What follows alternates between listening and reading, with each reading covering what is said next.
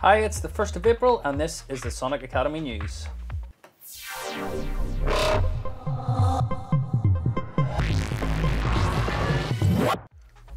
Hi, and welcome to the New Look Sonic Academy News. Um, we're joined today with Chris and Brian, and we're going to take you through some of the current week's news items.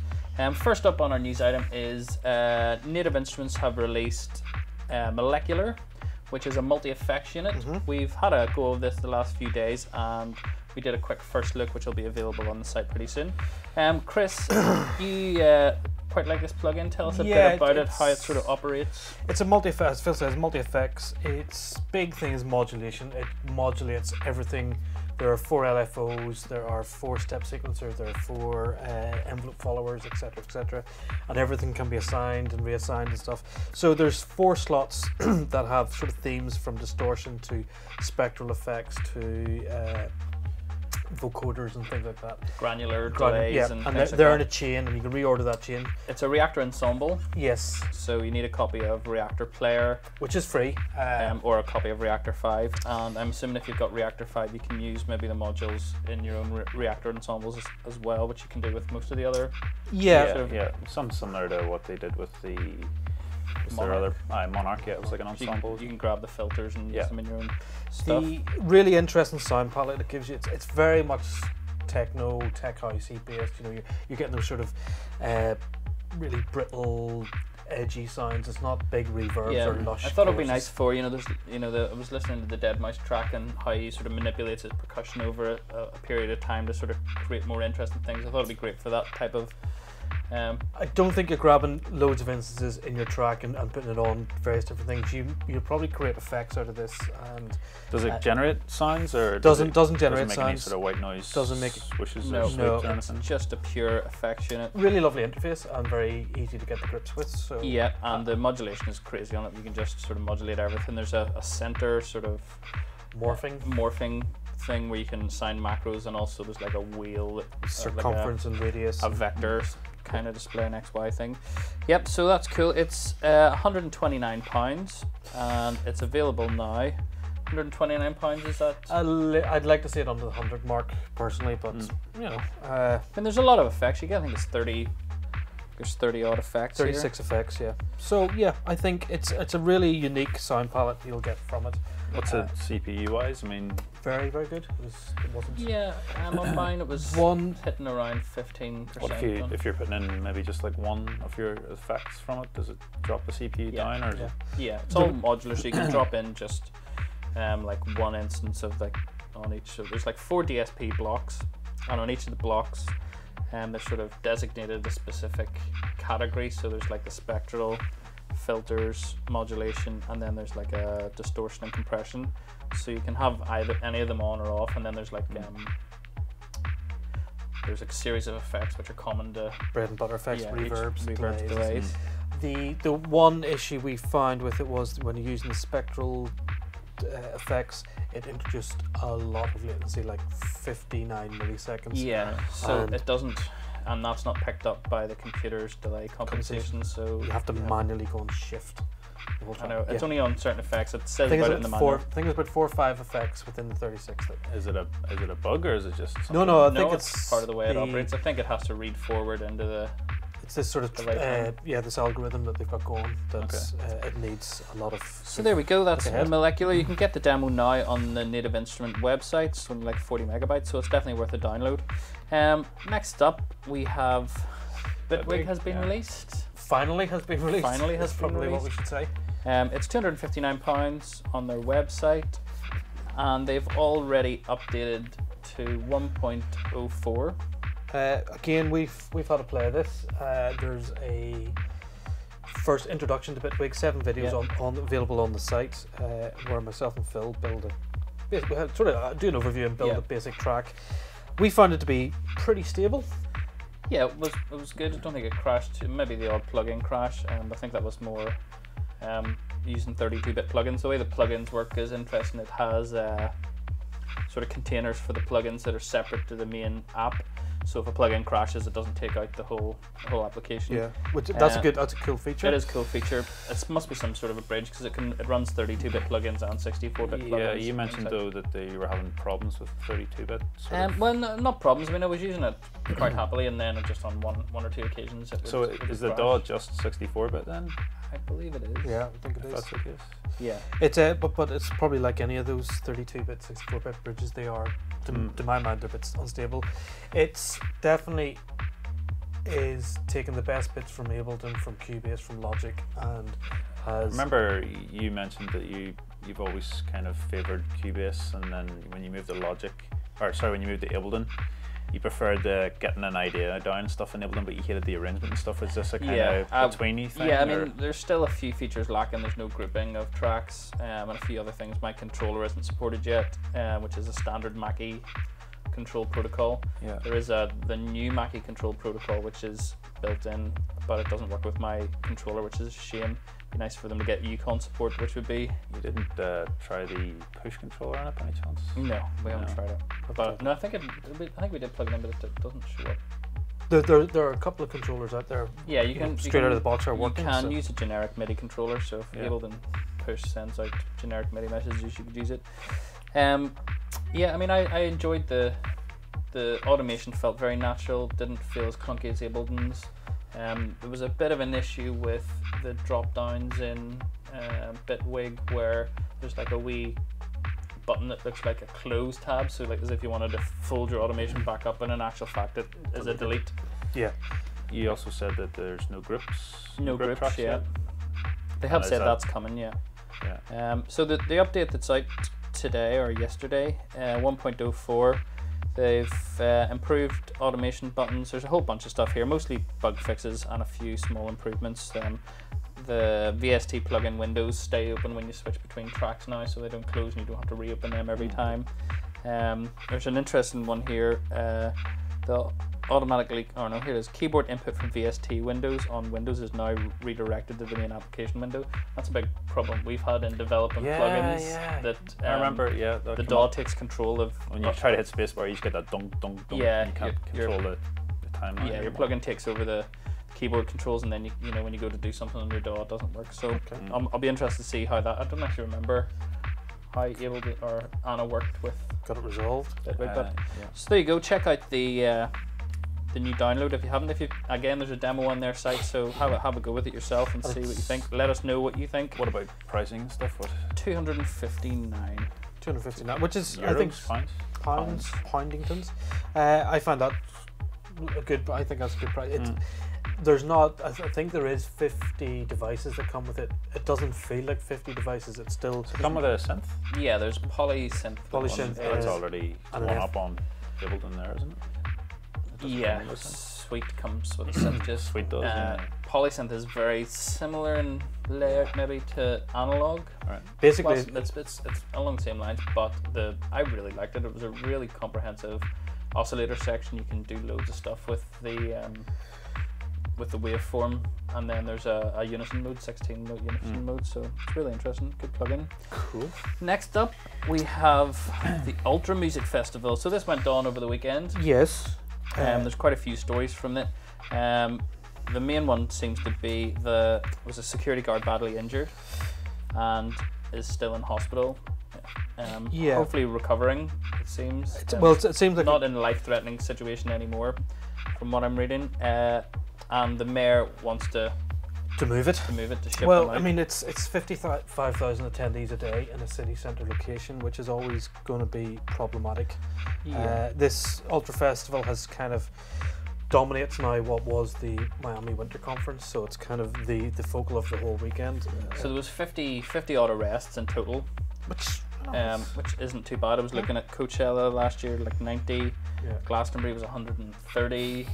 Um, and what was the other most one? nightclubs in the UK have that. EDC was like 70 or 80 as well. Yeah. So it's not a, it's not It's actually a down. massive amount compared to you know other It's festivals. maybe just the, the death, I'm assuming. Is, is well, it's not a death. It was a, Oh, a- injury, No, yeah, yeah, it's okay. injury, Injury. and it's a security guard. But I think the big, the other big news from the festival has been uh, Avicii got taken into hospital. and we had Deadmau5 on.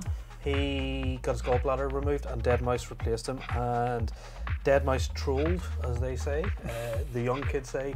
Uh, poor little Martin Garrix, an 18 year old, uh, played his track and played. Uh, oh, McDonald had a version of it. And fair play, to the guy's got balls to stand up in a headline. And then he set. went on and did a, a, a, a fun techno set. set. I, I was dipping in and out of the streams the whole weekend, and I've gotta be honest, I was a little bit disappointed with. Stylistically, it was just. Very much big Very much writers and a big EDM drop. We checked out a couple of uh, sets ourselves Monday morning in here, and uh, Jack Ü, which is Skrillex and Diplo. Yeah, that was excellent. I really enjoyed Really that cool. set. Again, it's it's not too far from what Diplo does with the Major Lazer Yeah. thing. But yeah, there's there's Skrillexy sounds in there. Yeah. It just felt interesting and exciting. I just when I heard some of the main guys, the whole three days across six stages, just What's this whole talking in the mic thing? yeah, this is a, this is a Yeah, new. just don't talk. Yeah, no, the, Countdowns. every every Ten, DJ. nine. Yeah, I I I've, Just I mean in 20 years of. DJing, I've never seen anybody.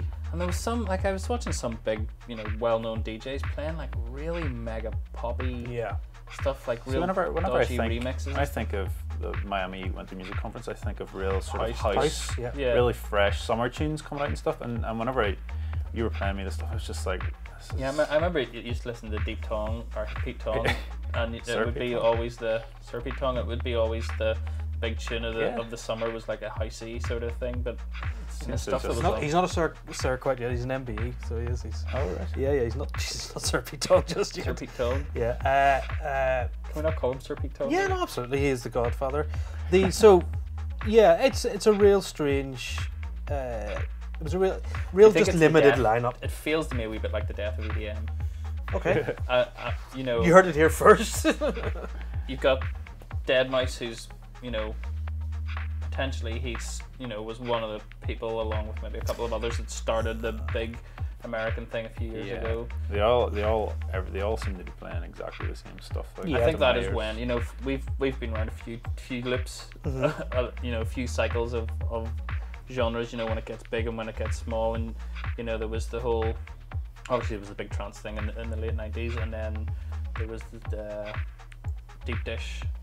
You know, they sort of came up, and then you had Dubfire doing, and around that time it was like real dark, techno-y type of stuff, and you know all the clubs were playing. It was like it was almost ubiquitous, and then this the sort of backlash to that seemed to be this big EDM. You know, if, if it was minimal before then, it was maximal, big saws, and you know, Swedish House Mafia sort of spawned from that. Now we've got to a point where you know, I think when everyone starts playing the same music, people start going, "Hold on, wait a minute, you know, something." It'll- someone, someone will, something someone will come along and, and bring something back. yeah, I'd, I'd, that'll start a resurgence of that again. Mm. You know? Well, I think because when when Deep Deep Dish were doing their you know their last sort of singles were like super poppy singles, and I think that was when Dubfire went, "Hold on a minute, I don't want to. This is not what, what I'm doing," you know, and, and then he switched and went dark. Yeah. You know, was there a comparison there with what Deadmau5 is doing, where he's Mm. you know been making big tracks and then was like, "Hold on, this isn't working." yeah, but you I know. mean, once these guys get the five million pound in the bank, then they can afford to go and switch. You know, uh, But they, these are the game changers. These are the Yeah, guys I'd- that, I'd- that, I'd- that'll take a crowd with them. You know, I was I was just I, you know any festivals that we've probably experienced in the UK. There was the techno arena, there was the house Mm. arena, there was the trance arena, and And is Ultra the, same or is it's it just one seven, stage? it's seven stages. Yeah. uh, but it just felt like there was EDM across all seven. Yeah. I think, uh, as you mentioned, maybe they- they're not given as much broadcast. Yeah, they're maybe just to- pick, they're picking up on Yeah. the styles. I mean, there, there was the A State of Trance 650, which was all, you know, trance stuff. Yeah. You know, like our our guys were over there. Uh, so yeah, it was it was fine. Just felt musically a little stayed. You know, but Yeah. Cool. Let us know what your thoughts are on the Ultra Festival. If you thought the music was good, bad. If you think music is changing, comment below. Um, our next item is some Sonic news. Bry, are you going to give us some insider info on what's happening at Sonic Academy? We have a new video player. Yeah, we've got a new video player. Um, I'll just bring it up here on the screen if we can. Yeah, so we've changed over our video player to um, a new service, uh, which is hopefully going to help some people out who have been having sort of buffering and connection issues. So previously we've been using Amazon S3, which Yeah, where we they've got like a cloud initially front. was great. Yeah, and uh, it uh, it's just a it's a wee bit laggy and it's Yeah, just not the as course fast as we would like. just seems seems to. I think we also upped the quality of our videos and there's more kind of um, captured motion now, so Yeah. that's sort of affected it a wee bit. So we've um, we've changed over to a new server, and uh, I'll just actually I'm not logged in here. Two seconds. I hope you're subscribed, Brian. Yeah, and uh, oh, I didn't show my password. did I? No. Uh, I'll just bring it up here. So uh, at the minute we have uh, a Bitwig course as well out on the site as well. That's loading. Um, you guys did a, an introduction to that, and that's on YouTube as well for free. Yeah, it's free on YouTube, and we'll be doing more Bitwig. Yeah, we're gonna do a beginner's course. Beginner's guide, yeah. Yeah. yeah. Maybe wait till there's a some track grouping. Yeah, that, that, yeah, that sort of on a, on a, on a semi-embargo with me with myself about Bitwig until we've got some Okay. grouping. So here is the, the new video player. Um, as you can see, slightly different. Um, it automatically detects the, the speed of your stream in that, and the the buffer syncing in it is is a lot faster. it's near instantaneous, isn't it? Yeah, than before. And this should improve for everybody. yeah, this should accrue across across the board because there's a lot more of these servers about. If you were one of the people who was having difficulties before, and we had put you on to the progressive streaming, We've switched them all back. so that you've all been Yeah. switched back to that, so everyone should have the same. Yeah, so you'll notice a, a slight different. You'll be able to access the, the playlist and stuff down the, the left hand side. Um, Cool. And this works right across the board on devices. Yeah, iPhones, yeah. The, the Android. iOS, there's new iOS streams in there as well, so you can. There's, uh, I think there's five or six different iOS streams depending on your quality of connection, and then um, I think it also works for Android as well, with the, the newer ones anyway. Uh, so that's that. Um, other than that, There was there's someone on the forums asking about uh, the ability to manually switch the streams. It's a guy who has Yeah. a, a, a, a bandwidth limit. Yeah, I spoke. I spoke to our the guys today, um, and they are going to have a look at it and see if they can do something like that. But the videos are they're they're, they're, they're 720p and they're 1080p, and the 720p we've we've crushed the bitrate down on them, so they're they're not pulling a lot of Data. If- of data. there's no, he's not going to be able to, you know, you're not going to be able to necessarily switch that yourself. If he's got a fast internet connection, but he, he wants to cap his usage, Yeah, that'll just probably switch. So hopefully in the in the next while we'll we'll find something that yeah. will And work we we also have um, Music Radar. If you remember last year, Ooh, yes. um, did a, a best synth of 2013. Yes, we came ninth, We came which ninth. was pretty amazing. So Yep. thank you for all the people that are voting. for Yep. that. So they're running another one this year, and I'm going to put the a link up on this on the website. We'll we'll tag it on the the tag below here, and you can you can go and well, Chris. Will, Yes, Chris please vote. It was pretty awesome last year when we got up so high. yeah. Uh, um, ANA's in it. This is just this is just synths like kick and stuff. Yeah, so There's not there's- a specific- Yeah, it's, it's, Yeah, it's yeah. more sense, not kick drum, but yeah, if you go to Music Radar and look for, you know, So- vote for the best synth in the world, and give us a little vote, we'd very much appreciate it. Yeah. Um, we were also on Pensado's Place with Kick. Mm, That was pretty cool. that, Yeah. We, we're big fans of Pensado's Place here at Sonic Academy. and It was pretty cool to see one of their, their guests talk about Kick, so it was pretty sweet. My interview techniques directly ripped off from Dave. So I'm not gonna lie to you. Uh, yeah, that's it. What about uh, competitions? Yes, so we're going to be running um, competitions through this New Look News.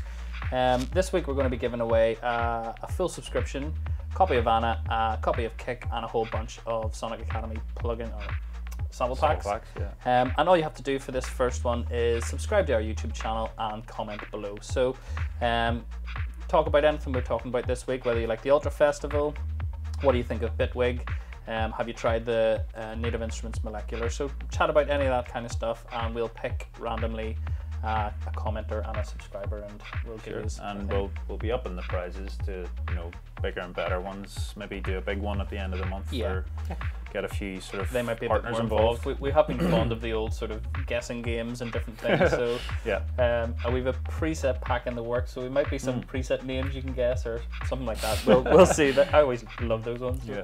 Or the photo one. What was your favorite competition? Uh, it was the photo ones. They were, they were photo great. ones were Yeah. The, the Friday Madness ones? Yeah. They were good. Yeah.